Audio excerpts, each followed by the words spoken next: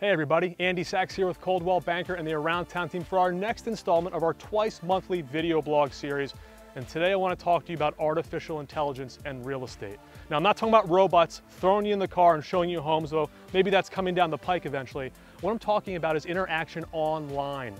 There are several sites and interactions with even Facebook that are popping up at a rapidly increasing rate that when you think you're engaging with an actual human being, you're actually engaging with artificial intelligence. It's going to become more and more prevalent. Be careful who and what you're talking with to make sure you're getting accurate information. Again, I'm Andy Sachs with Coldwell Banker. We look forward to look, working with you soon.